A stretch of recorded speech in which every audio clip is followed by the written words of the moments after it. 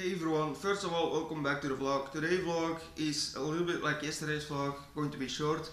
The reason for that is that yesterday morning I wake up at 6 am in the morning, that's somewhere, uh, yeah, just figure it out, it's the time zone of Brussels.